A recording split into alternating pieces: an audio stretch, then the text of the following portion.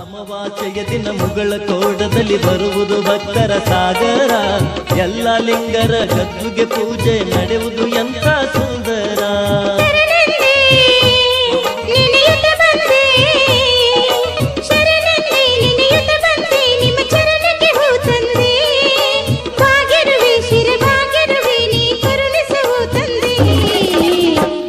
ಲಿಂಗದಲ್ಲಿ ಮೂಡಿ ಶಿವನ